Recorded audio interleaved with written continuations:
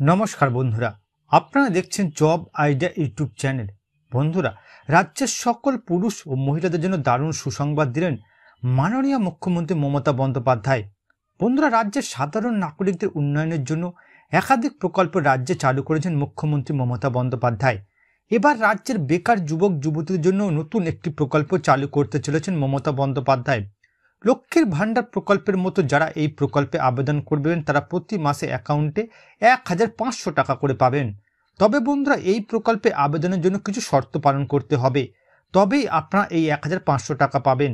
তো বন্ধুরা, কোন প্রকল্পের মাধ্যমে রাজ্যের পুরুষ ও মহিলাদের অ্যাকাউন্টে এই এক হাজার পাঁচশো টাকা দেওয়া হবে? আবেদন করতে গেলে কি কি ডকুমেন্ট লাগবে?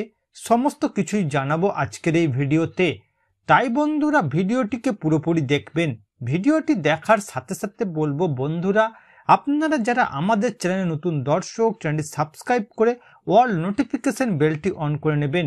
বিভিন্ন সরকারি প্রকল্পের আপডেট সবার প্রথম পাবার জন্য। চলুন বন্ধুরা, আজকের ভিডিওটি শুরু করা যাক। দেখুন বন্ধুরা, আজকের এই প্রতিবেদন, মমতার বড় ঘোষণা।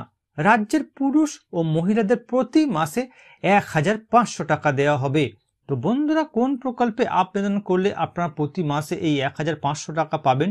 চলুন বিস্তারিত জেনে নেওয়া যাক। দেখুন বন্ধুরা, বিশ্ব অর্থনীতির অবস্থা যত খারাপ হচ্ছে, ততই বেকারের সংখ্যা বাড়ছে। ভারতেও বিভিন্ন বহুজাতিক সংস্থা থেকে একের পর এক কর্মী ছাঁটাই হচ্ছে। সবচেয়ে ভয়াবহ বিষয় হলো উচ্চ শিক্ষিতরা আজ আর চাকরি পাচ্ছেন না। বাংলার ঘরে ঘরে শিক্ষিত ছেলেমেয়েরা বেকার বসে আছে। এই অবস্থায় রাজ্যের বেকার ছেলে মেয়েদের কিছুটা স্বস্তি দিতে এগিয়ে এসেছেন মুখ্যমন্ত্রী মমতা বন্দ্যোপাধ্যায়।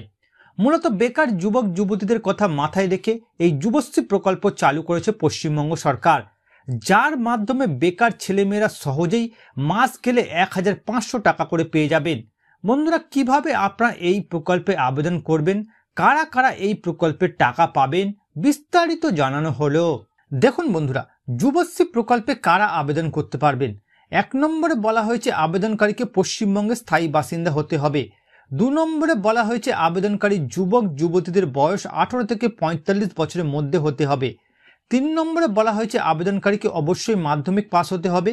উচ্চ শিক্ষিত হলে অসুবিধা নেই। চার নম্বরে বলা হয়েছে বন্ধুরা, আবেদনকারী যুবক বা যুবতীকে অবশ্যই বেকার হতে হবে। অর্থাৎ বন্ধুরা, আপনারা যদি এই চারটি শর্ত পূরণ করেন, আপনারা খুব সহজেই যুবশ্রী প্রকল্পের মাধ্যমে অ্যাকাউন্টে এই এক হাজার পাঁচশো টাকা পেয়ে যাবেন। এরপর দেখুন বন্ধুরা, যুবশ্রী প্রকল্পে আবেদন করতে যে সমস্ত নথি লাগবে। এক নম্বরে বলা হয়েছে আধার কার্ড, দু নম্বরে বলা হয়েছে ভোটার আইডি কার্ড, তিন নম্বরে বলা হয়েছে মাধ্যমিকের মার্কশিট ও অ্যাডমিট কার্ড, চার নম্বরে বলা হয়েছে যে কোনো রাষ্ট্রায়ত্তের ব্যাংকের অ্যাকাউন্ট নাম্বার, পাঁচ নম্বরে বলা হয়েছে আবেদনকারী পাসপোর্ট সাইজের ফটো। অর্থাৎ বন্ধুরা, এই পাঁচটি ডকুমেন্ট আপনাদের কাছে থাকলে আপনার যুবশ্রী প্রকল্পে আবেদন করতে পারবেন। এরপর দেখুন বন্ধুরা, যুবশ্রী প্রকল্পে অনলাইনে আবেদন করতে পারবেন।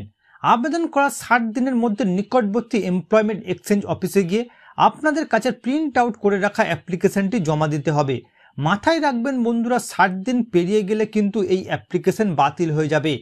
বন্ধুরা এমপ্লয়মেন্ট এক্সচেঞ্জে গিয়ে আপনি অ্যাপ্লিকেশনের প্রিন্ট আউট জমা দেওয়ার পর আপনাকে ইউজার আইডি ও পাসওয়ার্ড দেওয়া হবে। এটা আপনার নথিভুক্ত ফোন নম্বরে আসবে। এর কয়েকদিন পর এমপ্লয়মেন্ট এক্সচেঞ্জের পক্ষ থেকে যুবশ্রী প্রকল্পের নাম থাকা বেকার যুবক যুবতীদের তালিকা বার করা হবে। সেখানে আপনার নাম থাকলেই এক হাজার পাঁচশো টাকা করে পেতে শুরু করবেন। অর্থাৎ বন্ধুরা, আপনারা অনলাইনে যুবশ্রী প্রকল্পে আবেদন করতে পারবেন। আবেদন করার ষাট দিনের মধ্যে আপনার কাছে প্রিন্ট আউট করে রাখা অ্যাপ্লিকেশনটি গিয়ে আপনার নিকটবর্তী এমপ্লয়মেন্ট এক্সচেঞ্জে গিয়ে জমা দেবেন। জমা দেওয়ার পর আপনার নাম যদি যুবশ্রী প্রকল্পে ওঠে, তাহলে বন্ধুরা আপনার প্রতি মাসে অ্যাকাউন্টে এক হাজার পাঁচশো টাকা পাবেন। তো বন্ধুরা, বর্তমানে আপনারা কোন কোন জেলা থেকে আমার এই ভিডিওটি দেখছেন, অবশ্যই কমেন্ট করে জানাবেন। এছাড়া বন্ধুরা, কোনো প্রশ্ন থাকলে জানাতে ভুলবেন না। আর বন্ধুরা, আজকের ভিডিওটি ভালো লাগলে একটি লাইক দেবেন ও ভিডিওটিকে বেশি বেশি করে শেয়ার করবেন।